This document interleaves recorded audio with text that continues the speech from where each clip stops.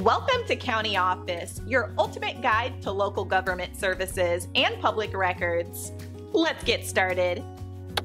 Do you have to wait for police after a car accident? If you've been in a car accident in New York, you might be wondering if you need to wait for the police to arrive. Let's break it down. First, if someone is injured or killed in the accident, you must call the police and stay at the scene until they arrive. This is not just a good idea, it's the law 235.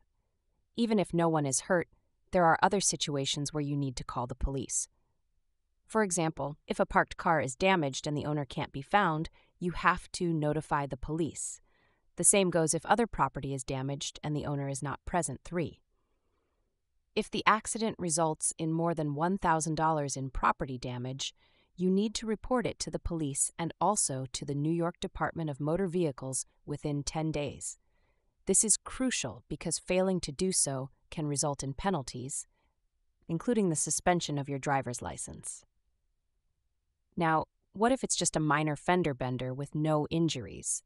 You don't legally have to call the police, but it's still a good idea.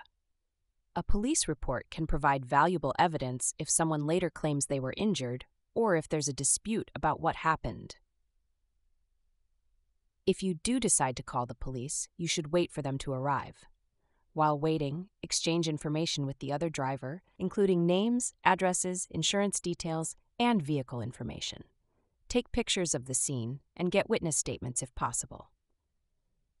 If the police decline to come to the scene, you can go to the nearest police station to file a report yourself.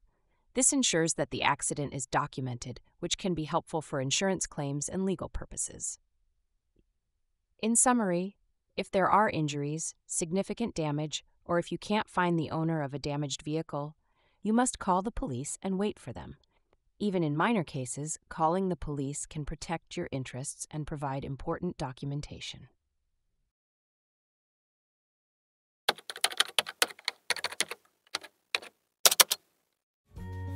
To learn more, check out these links, which you can click in the description below.